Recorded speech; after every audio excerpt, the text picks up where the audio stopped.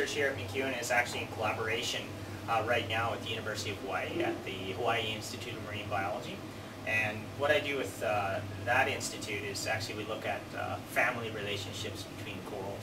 So we look at how they're related uh, and how that impacts upon uh, environmental uh, preserves. So if you're going to set up a marine preserve and you want to know, hey, we want to set up a marine preserve in this area, are the corals endangered that are in here or are they not, right? Well, how do you tell the differences between the corals? And a lot of what we've been finding recently uh, is that some species of coral, uh, such as ones within Montipora, uh, look very similar, and they may be similar species, but sometimes they look different, and they're still the same species. So that's very interesting results.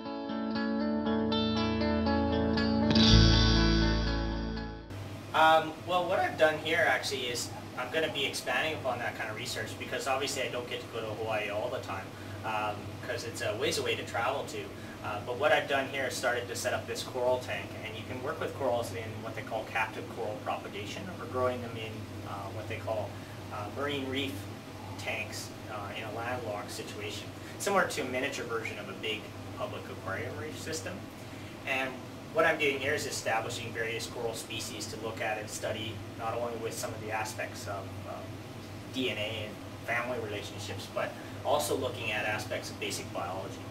So the research will be really wide uh, for students to get involved in. And I'm interested in working with students because they can work on basic biology, what makes certain species of coral grow more than others, uh, and they can also look at more detailed things of the DNA or molecular biology if they want to.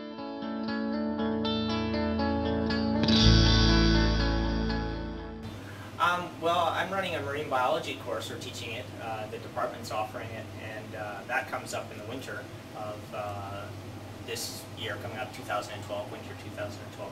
And so in that course, uh, we look at a lot of the aspects of uh, marine reef systems.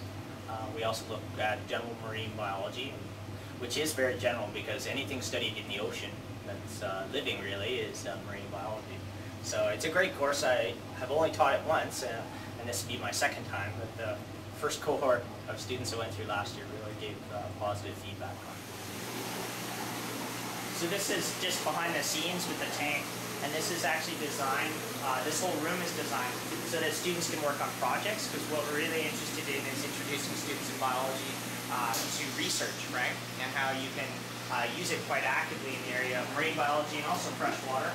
Uh, and you can see a variety of systems here, but you can see up above are some small tanks, and these small tanks are going to be ones that students can work with and experiment with coral with uh, from the main tank. Um, so there's many aspects of basic biology students can look at with uh, corals that are still unknown.